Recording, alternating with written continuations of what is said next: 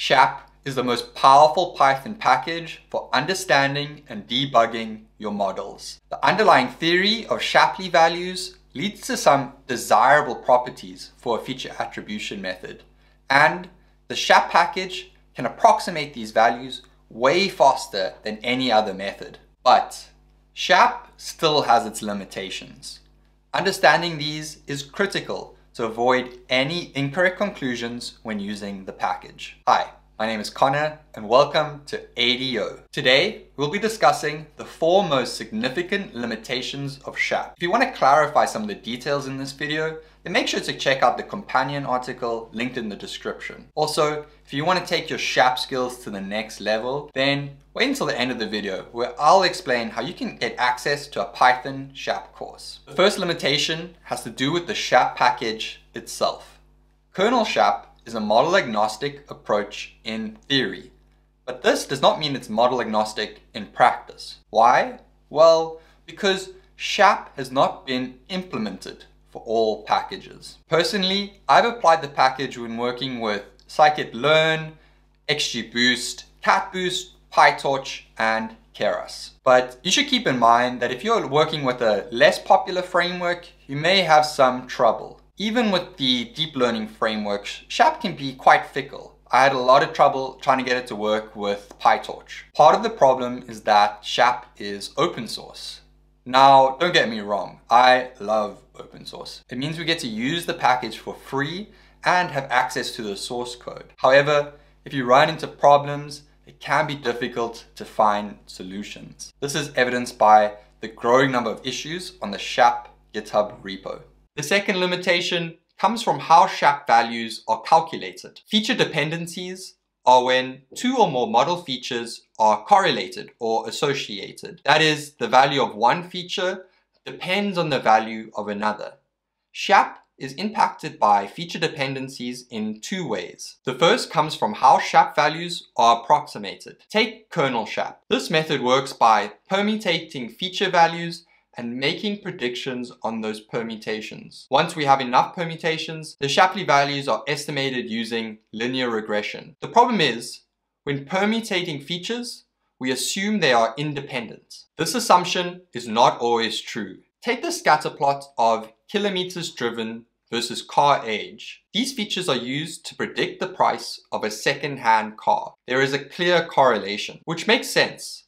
The older a car, the more time we've had to increase its mileage. Now, take the red observation. This car is 10 years old. Cars this age will have driven distances within the solid oval. When we train a model, it only sees these realistic observations. Yet, when we calculate SHAP values, we permutate the feature across its entire range. For kilometers driven, this includes unrealistic observations within the dotted oval. We expect the model to make predictions on these observations. This can lead to unrealistic predictions and SHAP values. Feature dependencies can also lead to some confusion when interpreting a model. For example, a model could use country of origin to predict the chance of developing skin cancer.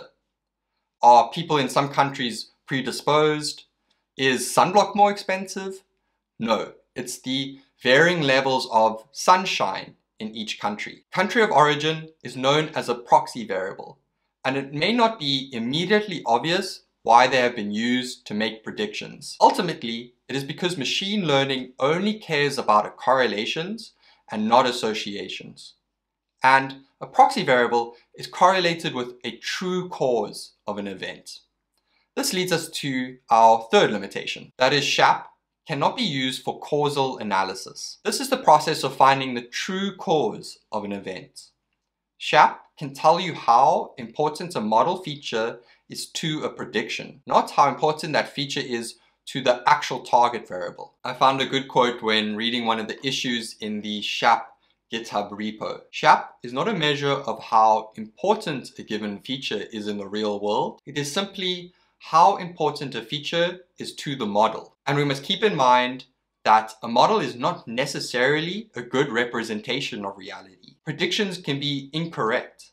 In this case, SHAP values will give the contributions to a prediction that is not even the same as the target variable. Even if the model is 100% accurate, it could be using proxy variables. All this means is that we should not make conclusions that extend beyond the model, even if it's tempting to do so. The last limitation comes from us, the humans using the SHAP package. From technical analysis to astrology Humans love finding patterns that aren't really there. Data science is no different. When analyzing SHAP plots, we create false narratives. Why is the model predicting high rates of cancer? It must be that hats are unfashionable. We can force these stories onto our analysis, even if they come from model quirks.